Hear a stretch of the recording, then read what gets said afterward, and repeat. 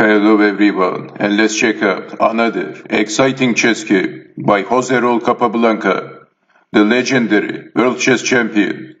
And this game was played in 1901 in Havana, Cuba, and his opponent is Manuel Sterling.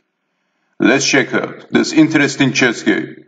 Capablanca, who has the white pieces, starts the game with playing e4, e6, and we are going for the French defense Exchange variation. Of course, Capablanca likes to exchange. He likes to exchange the pawns, the pieces, and go for the endgame. Knight to f3.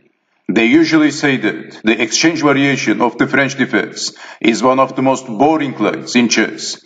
But when there is Capablanca on the chessboard, it is never going to be boring. So, developing the knights. And bishop to d3, bishop to d6, mirroring Capablanca's moves, copycatting, castling, developing the knights. Again, copycatting the moves of Capablanca, bishop to g5, bishop to g4. And Capablanca captured the knight, and this time Black stopped copycatting Capablanca. He captured the bishop with the queen, and there is pressure on the knight. And this time, Capablanca captured the pawn, knight takes on d5 defending the queen. And black is threatening to capture the knight and then checkmating the king. But this is never going to work on Capablanca. Maybe only against chess patzer. So Capablanca is attacking the bishop and defending. Bishop takes on f3, queen takes on f3, and black captured the pawn, knight takes on d4. And getting back the material. Attacking the knight, knight to e6, knight to e3, lining the rook with the queen, but attacking the queen and defending the queen, queen to h5. We have rook from a to e1. And after rook from a to e1, black played queen to g6. Well, discover attacking the queen is not working. Because of why? Because of capturing the rook. White can capture the rook, and if capturing back, then here comes rook takes on e8, checking the king, only defense. And what now? Of course, checking the king with the knight. The bishop is pinned. So moving the king, only move. And then, rook takes on f8. Checkmate. Black is getting checkmated. There is no defense. After queen takes rook, knight takes on d3. Is not working because of queen to b5. And black can't capture back the exchange. Not getting back the exchange, because if capturing the rook, then knight to e7, check, and after capturing the knight, then queen takes on h5, and black is losing. There is no defense. Black is losing the queen if capturing the rook. Let's take it back. So this is actually a cozy position for Capablanca. We have rook from a to e1 and queen to g6. What would you do in this position? There is a very simple move. Well, Capablanca played queen to h4, and black is in trouble. Black has to be careful, threatening discover attacks to the queen, with checking the king, and also winning the queen. And if defending the queen, this time, black is getting checkmated. So black in this position didn't want to get checkmated. He pushed the pawn. Well, in this position, if something like knight to f4, then knight to e7, checking, Bishop takes on e7. And queen takes on e4, and white is better.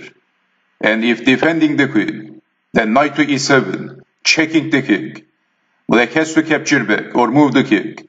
Either way, black is getting checkmated. Queen takes on h7, checkmate.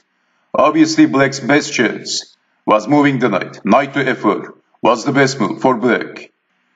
But it is not very easy to see when you're playing the chess game, when you're under pressure. So chess is also a psychological game.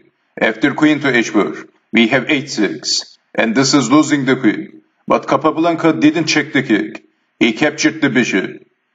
Knight takes on d6, and we have c takes on d6. If defending the queen, then exchanging everything, and then knight takes on e8, rook takes on e8, and white has the rook. White is a rook up.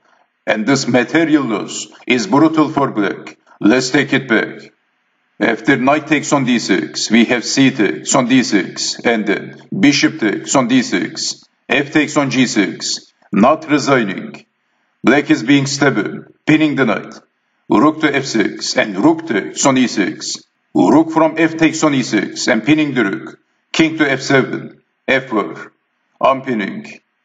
Checking the king, king to f7, queen to d5, pinning rook once again.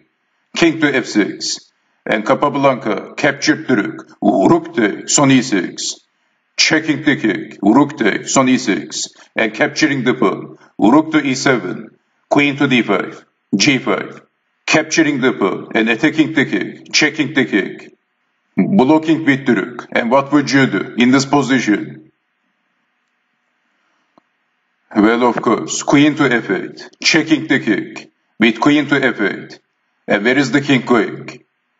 Black result, of course, finally. Only now, black result.